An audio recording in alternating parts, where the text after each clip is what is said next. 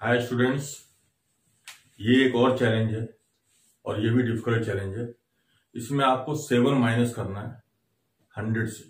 तो आप seven minus करते हैं हंड्रेड से और लास्ट में आपका जो नंबर वहाँ तक पहुँचना है।